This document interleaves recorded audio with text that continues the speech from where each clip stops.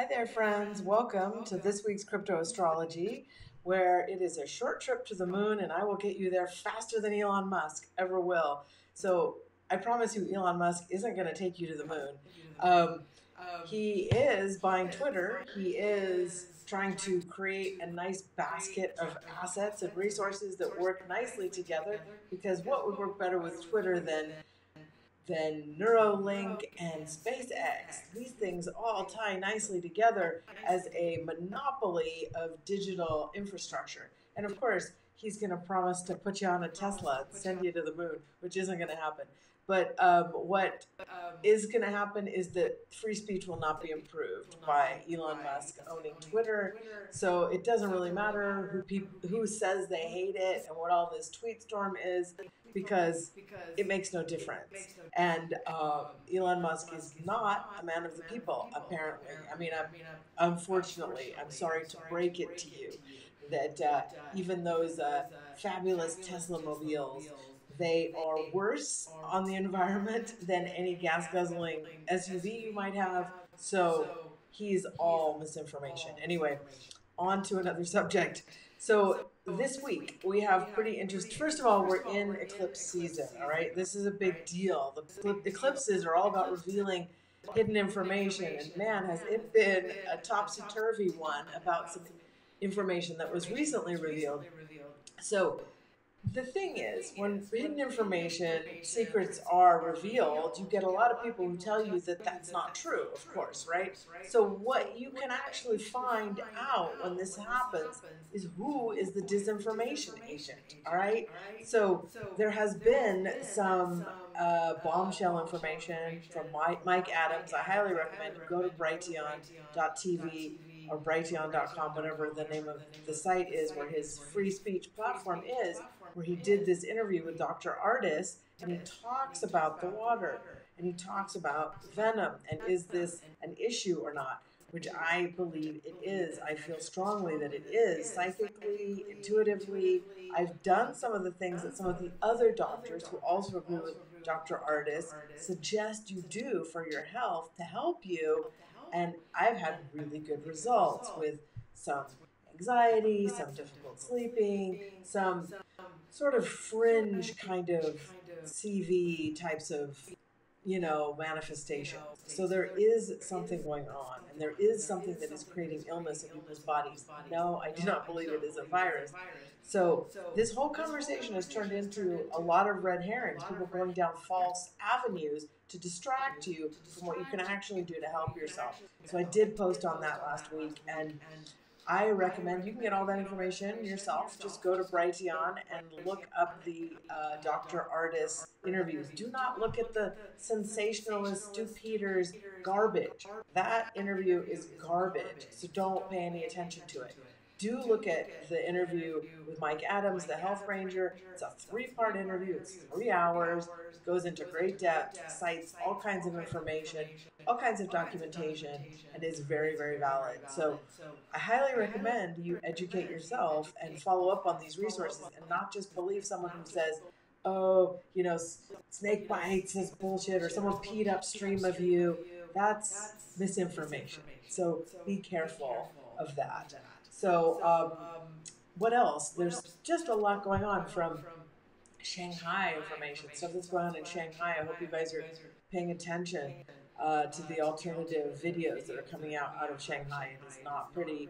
Um, and of course, we have the ongoing Russian situation, but the, the deal is that this eclipse season is about information coming to the surface that information is coming to the surface now. And we have two eclipses. There's the solar eclipse, which happens at the end of this month, and then the lunar eclipse, which is, you know, the solar eclipse is not this week. It's in another it's next week.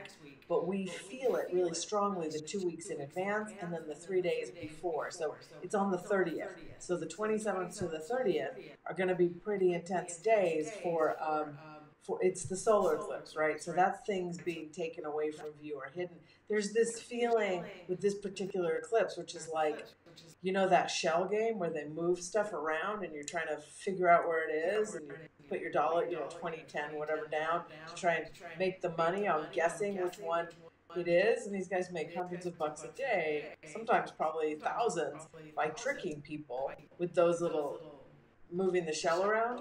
So that's what's going on right now. Stuff that's coming out is being moved around underneath the shell, underneath these the, the cups. And so you're trying to figure out which cup has the shell in it. I'm telling you that where there's smoke, there's fire, there's real issue. Go look on Brighteon, look at that video to get some more like actual information. There's a lot of spin, a lot of confusion, and that's done on purpose, of course. And then after that, we get the lunar eclipse, which is secrets being revealed, information coming to the surface. So we have we're in for a very bumpy uh, ride for the next couple of weeks, especially in terms of information, which is not new, but also it's going to be affecting all of our supply chain stuff. And this is um, I've been talking about the nodes moving from Gemini into Taurus, from the Gemini Sagittarius um, opposition into the Taurus Scorpio opposition, which is all about what we have and what we can use and what we can do to take care of ourselves. So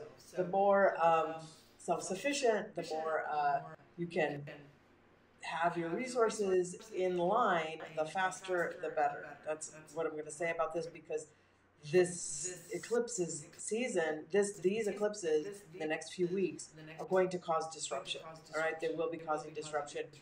It's a good idea to have extra fuel on hand, like an extra gas tank of fuel in case you need it in your garage somewhere. So these are just some suggestions, but having said all that, it's not a terrible week actually. We do have some uh, pretty decent things going on astrologically. So let's take a look at the charts and I'll give you a, a little bit of a deeper view on it. So, um, you know, here we have, of course, all the planets bunched together in a tight little pattern as we've been seeing for a long time because there's a real lopsided effect going on energetically and in the world and where what we can see is a limited amount of stuff which is what i was saying about that shell game what we're seeing is very little based on what's you know being allowed through. So most of stuff is sort of hidden behind where we can't see it. So that's kind of this whole area over here. I don't know if you see my mouse or not but the whole area with nothing in it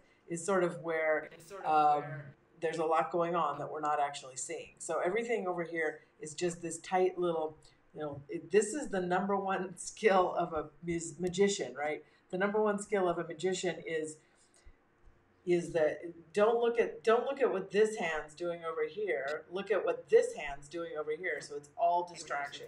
This is why the magician card in tarot he's pointing at his instruments he's pointing up at the sky. He's distracting your attention. It's all about where your attention is focused. And so the charts of the day the charts of the week the charts of the months the charts that have been going on for a long time here are all about that distraction element. You're only being shown what they want you to see. So there's only a little bit, only the tip of the iceberg is showing, is is uh, you know visible for us to analyze and try and make info make decisions based on. So this is of course purposefully confusing to all of us. So what else is happening this week? However, it's not terrible. And the reason it's not terrible is because we have this really nice configuration over here on the um, the descendant, which is the aspect of relationships, and it is the focal point for this whole week. And it's all it brings in a lot of really nice relationship issues and nice relationship uh, information. It's going to be very good for partnerships, friendships, uh, relationships, romantic relationships, one-on-one dealings of all kinds. Also, some positive news in the field of justice. Um, this is Pisces, and it's very much like the sign of justice is Libra, but Libra and Pisces have a really good esoteric relationship. So this does bring around some type of justice. It's almost like spiritual justice. I wouldn't say that you're going to get, you know, big headlines of tribunals or anything like that, but there's some sense of personal victory, overcoming obstacles, overcoming problems, some kind of justice around things that that have not been that easy to put your finger on, but have been in the way or causing distractions or disruptions. So this is like an energetic shift, um, kind of a big one that does provide opportunity for us to move forward. And because Venus is on the descendant here, we have very loving, kind uh, types of relationship it, things coming up. If this is helpful to you, but in general, people are going to be kinder and more loving and sweeter in their one or one-on-one relationships, especially since um, Venus is getting ready to join up with Neptune, which is pretty much the most loving, sweetest, kindest, most romantic aspect there is. So it's a very nice aspect for romance, for long term relationships, and that becomes exact next week. It's also good for anything that you might be doing that's a long term plan, right? Long term planning, planting things, getting, um, you know, anything long term that you're doing, uh, especially like getting things into the ground. It's very good for that. Uh, Jupiter is also tied in with this. I talked about it last week. It was exact uh, last week. So I was speaking to members about getting prepared for stuff, but it's still in effect. And Venus joining up with this makes this another really nice week for laying some foundations for long term planning and for things that you grow, for uh, things that you build, things that are coming out of the earth, uh, things of value, things that you buy that are going to be long term value. So, um, speaking of which, I actually did do a uh, recent new coin recommendation for members, and that's in the members area. That's for all members. Um, I'm going to post an update, a little bit more information on that because there is some more, and I gave a strategy for it. There's a specific time frame for this because this is not a forever coin. It's something you want as for a period of time. But also, um, yeah, that's a big deal. And also in the news, we had some very big stories break about um, Ripple XRP, which you know, I've been telling everyone forever this is a cabal coin. This is not something you want to get stuck in long term. And now we just have these news stories coming out about the members of the Federal Reserve going and joining Ripple's board, and there's all this stuff going on. So I will be doing an updated uh, piece about Ripple and that's coming out in the next few days. So if you want a more updated timeline and some more updated information about Ripple, that's going to be in the members area, um, as well as there's that coin recommendation that I gave to people. But this is also, like I said, a really good week for setting yourself up for these long-term successes. So. Um, although I'm not going to tell you that this is necessarily your bottom bottom or your top top of any type of moves. It's uh it's been a you know frustratingly wavy month in crypto. Some people like to trade those small moves, but I'm about the big entry and exit points and there's no one who's as accurate on that as me. So that's the key here is finding the, the big points for getting in and the big points for getting out. So, what do we have else going on this week? We also have there's a nice aspect to the moon's nodes with this Venus Neptune uh, conjunction, which becomes exact next week, but we feel it this week. This puts us on our soul's path, helps us put us in the direction of where we need to go.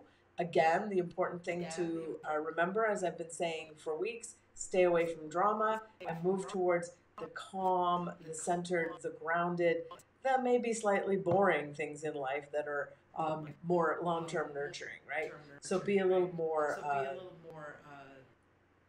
patient and slow about moves that you might be making, and don't move towards the uh, Im- immediate gratification drama energy. Don't get caught up in that. The moon with the you know, the South Node in Scorpio, this is an entire 18 month cycle where being calm, being centered, being grounded, being peaceful, and taking care of your physical needs is going to provide huge, huge returns for people who are doing that. Also, it's about land, it's about property, it's about what you own, it's about the things you have, it's about luxury items, and it's about creating a nice life for yourself. So it's highly possible to live outside all the drama of the world, and you will do far better if you are living in that space of calm and self nurturing. So, there's that, um, and that is also really nice, and it is also making a nice aspect to Neptune. So, it's bringing opportunities in for us. There will be a lot of good financial opportunities, opportunities to get tools, uh, resources, things, techniques, things that we might need in these coming times to set us up. So that is going on and it is uh, going to bring a lot of information. Once we get into next week, we're going to move into the shadow of Mercury and I'll talk about that as we get when we get there. So make sure you subscribe to this to this channel and like this video, of course, and share. But um, other things that are going on is Pluto is also tied in with this nice pattern. Now it's going to become stronger in the coming weeks, this transformative energy. So new things and big changes are being set into motion right now, but it will take some more weeks and even months for it all to kind of crystallize in a stronger way. In fact, these cycles will be continuing to grow for the next uh, year. So you're going to be seeing a lot of these seeds that you're planting in your life, not just in your garden, but in your life as well. Those seeds are going to start to be growing and producing and turning into plants that are going to flourish and create yield, right? So these things are happening. This is the divine cycle right now. Is it is a divine cycle of planting. This is the spring. It is the time to plant seeds in all areas of your life. And that includes romance and relationships. Relationships are in really good standing this week, and it's a great uh, time to deepen your relationships with people, to have more important discussions about the future, to look for people who are more in alignment with your values. This is a really powerful time to meet up and make those new connections and actually create those real friends that are going to be the long-term friends that have the same outlook and the same value as you where you can build something for the future so there is a lot going on that is very positive in that regard chiron i've been talking about for a long time is in aries it's gotten to about the middle of aries it is providing opportunities for sudden and unexpected changes that bring good people into our lives um, and resources, bringing us resources and joining with other people, opportunities to work with other people. These things will happen out of the blue, suddenly, unexpectedly, uh, just synchronicity. Boom, here's a person who's doing exactly what you need, and you get to solve a problem. And if there's anything going on in your life that has legal implications, you can also get a lot of help with that because of all these aspects on the seventh house cusp. This is really helpful to anything related to the law, to justice, to contracts, to legal things of all kinds that you're dealing with. So, and my very, very strong recommendation to you is take care of it all this week. Get everything in motion this week. Button up all the details you can this week. Don't wait until next week because that's when we enter the shadow of Mercury retrograde and anything you start doing during that week, even if there's positive energy still, it's going to take six weeks to get it all resolved, right? If you have got stuff, don't put it off. If you have paperwork you need to solve, don't put it off because it could turn into a much bigger problem later when we enter the Mercury retrograde cycle. Right now is a good time to deal with your legal justice issues and your paperwork and your court stuff and your bureaucracy stuff and your red tape anything along those lines you want to set into motion now, and it will be putting you in a good position to make it through the Mercury retrograde cycle, which is six weeks. You don't want to have to be delayed six weeks. It's a long period of time that if you can do it quickly ahead of time, do it, front run those things. So that's what's going on for this week. Um, I would say absolutely try and make a lot of progress with any gardening, any um, new technology you've found, any um, setting yourself up. Just try and set yourself up and, and put yourself in a more self sufficient position.